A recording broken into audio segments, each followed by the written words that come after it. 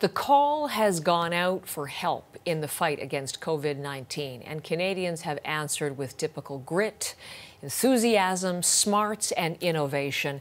Amateur quilters, small businesses, big industry retooling. So many Canadians are making a difference.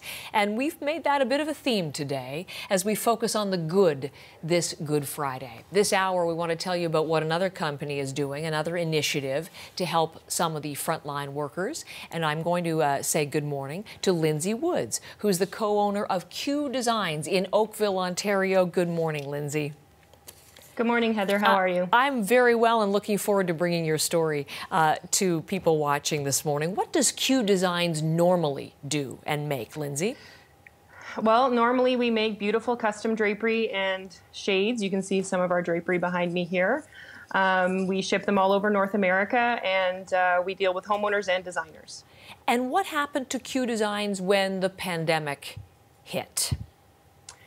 So um, we're a very tight knit family team. We were all uh, very worried about what this would mean for our business. We've been in business for 20 years.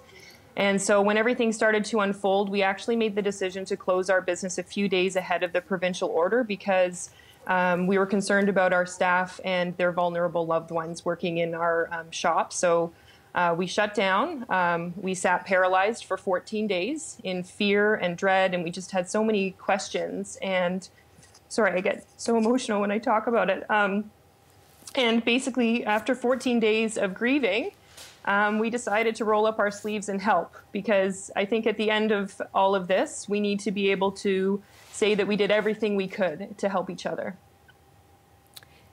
So, how did you decide to help?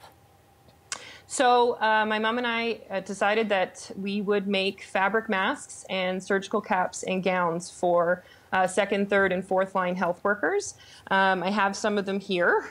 So this is beautiful drapery fabric. Oh, hold on for um, just a um, second, Lindsay, because we're looking at some yep. of the pictures, but you actually have oh, some in sorry. hand. That's okay. No, I'd like to yes, see what you have in your hand, too, and we'll show the other ones later on. But what do you have there to show us? Um, so I have um, masks and surgical okay. caps that we've been making.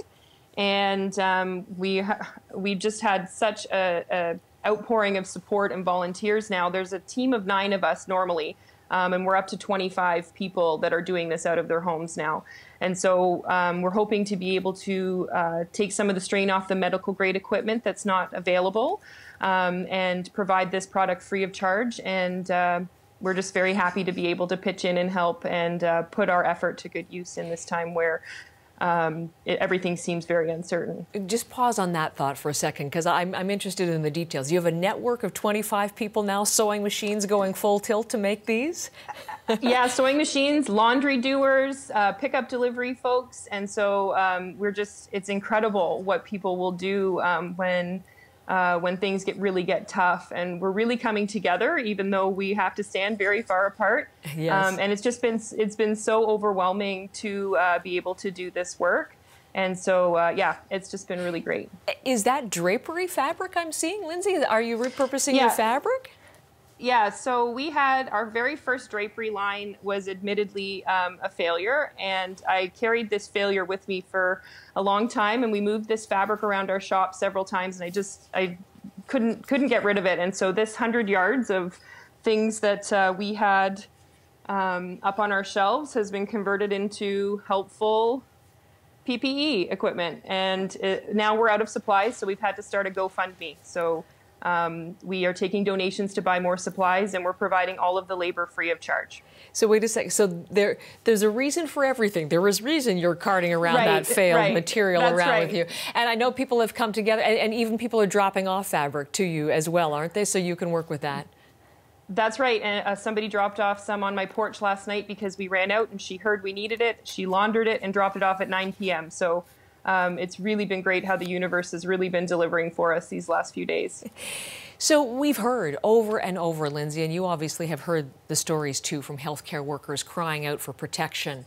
They need safety. They don't have enough supplies. You That's know right. that. And as your business uh, makes these masks and as you watch them being shipped out the door, how does it make you feel? it's incredible to be able to help right now. I think um, it just makes us feel so proud to be able to do something so good at a time where everyone feels like literally stuck in their homes, unable to do anything. And so um, I'm very proud of my team for getting on board with this. I'm very proud to live in a place that people are just the community I've built on Instagram has really, really stepped up. And so um, I really, I just feel so grateful.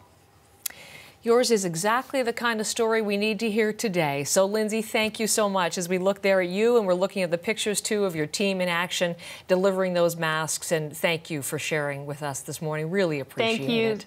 Thank okay. you so much. I did want to say that uh, we do have a GoFundMe set up and you can go to our Instagram at, at Q Design Center if you want to donate. It costs us about 5000 a week, and we're doing all the labor for free. Lindsay, thank you. Really appreciate it, as I said, and uh, best of luck as you continue to help so many. Thank you.